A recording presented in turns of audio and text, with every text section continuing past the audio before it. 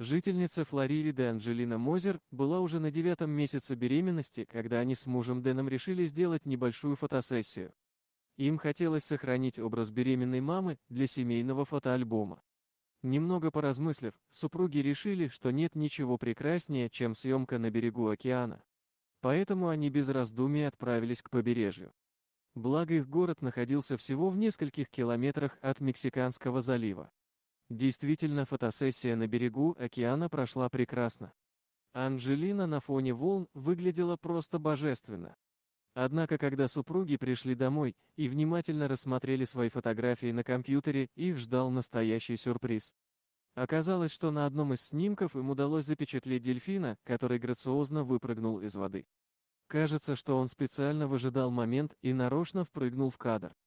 Анджелина решила, что это хороший знак, и разместила фотографию на своей страничке в Фейсбуке.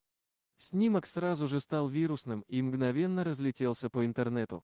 Всего через несколько дней после того, как было сделано это удивительное фото, Анджелина родила крепкого здорового мальчика.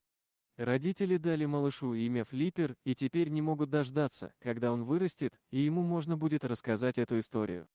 А так животные делают жизнь намного ярче и увлекательнее. Если тебе понравилось это необычное фото, обязательно поделись им со своими друзьями. Дорогие друзья!